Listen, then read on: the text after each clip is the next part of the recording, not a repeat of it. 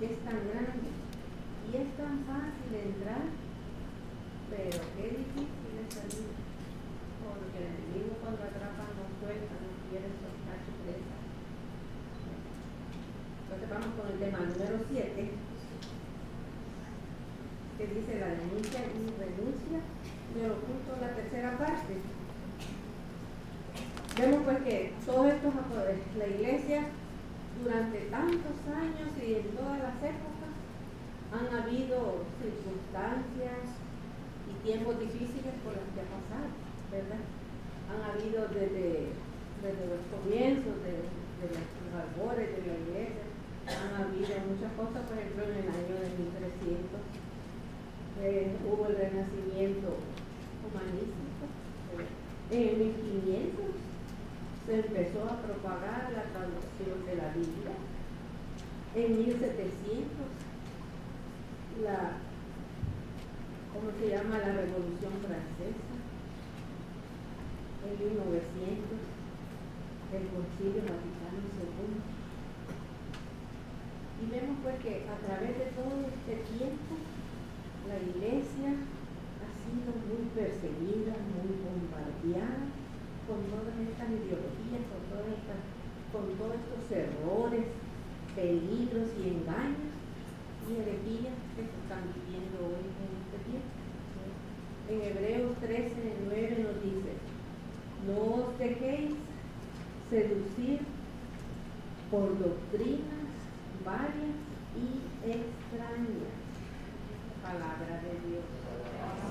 Entonces aquí nos está previniendo palabra del Señor, que eso se va a dar y que se ha dado por mucho tiempo, por mucho tiempo se ha dado. Entonces también pueden, porque en Deuteronomio 18, 9, 14, que está en la página 186, la cita, nos dice, cuando hayas entrado en la tierra que ya tu Dios te da, no aprenderás a cometer abominaciones como las de esas naciones no ha de ver en ti nadie que haga pasar a su hijo o a su hija por el fuego, que practique adivinación, astrología, hechicería o magia. Ningún encantador, ni consultor de espectros o adivinos, ni evocador de muertos. Palabra de Dios. Entonces nosotros venimos de nuestros países con nuestra cultura y la debemos de mantener. Conocimos y nacimos en el recinto de un hogar católico, ¿sí o no? La mayoría, ¿verdad?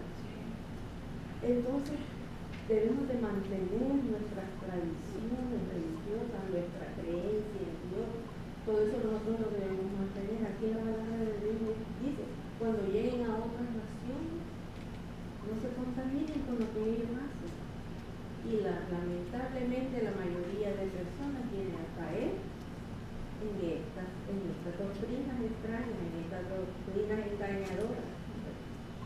Pero el Señor dice, mi pueblo pesa por ignorancia. Tantas personas que se contaminan porque toman esos lugares, van a trabajar a lugares inadecuados por, por un trabajo, lo toman como un trabajo tan normal, pero al final terminan contaminados, ¿verdad? Porque hay unos sin querer, siguen trabajando y otros que se inmiscuyen en ese trabajo porque les va gustando también. Entonces dice que el, orientalismo, ¿verdad? ¿Qué son el, el orientalismo? Esas creencias en sectas, en cultos, sistemas filosóficos, que implican rituales, ceremonias, y tantas cosas de espíritus que, que le llevan a la veneración y adoración a otros dioses, no a nuestro Dios verdadero, sino que a otros dioses. El orientalismo ha sido impulsado por la nueva era. Su propósito es llegar a negar la existencia de destinos y de considerar innecesarias las religiones cristianas, cambiándolas por filosofías o por sectas donde florece el paganismo. Al final dice, las religiones orientales, más que religiones, son filosofías místicas ya que su finalidad no es el conocimiento de Dios ni de su palabra, ni de su ley. No buscan a un ser supremo para ellos.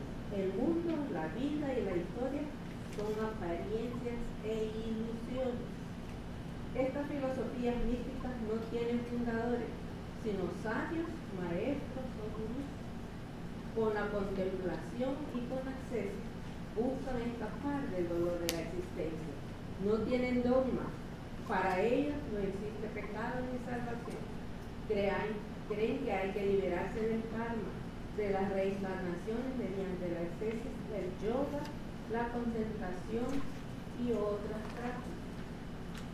Y entonces, qué nos lleva todo esto? A la confusión, al engaño, a la mentira. ¿Verdad? Y dice en, el párrafo grande, dice, en el caso de las religiones y la cultura oriental, sí es bueno que nosotros respetemos, ¿verdad? Y, y también que admiremos su cultura, como su comida, sus trajes tan bonitos, los, los colores orientales que tienen toda su ropa muy bonita, ¿verdad? Porque no todo en sí es malo, sino que vamos a esas prácticas religiosas fuera de la, de la católica. Pero tratar de, de, integrar la evangelización de Cristo con ritos de paganismo y acomodarse con la gran falsedad ideológica de que las ideas religiosas primitivas se pueden entremezclar con los conceptos establecidos por el magisterio de la Iglesia Católica. Es una incongruencia de consecuencias fatales el pecado de desobediencia a la autoridad de la iglesia y peligro aceptar que la aleja de la. ¿Qué es lo que, se comete aquí con, todas estas cosas? Contra el primer mandamiento. ¿Cuál es el primer mandamiento? Entonces, cuando nosotros vamos a estas cosas, estamos poniendo a esa persona, a ese gurú, a, esos maestros, estamos poniendo Estamos quitando al Señor su lugar y estamos poniendo a esas personas en ese lugar. Vamos a ver qué dice el espíritu de orientalismo.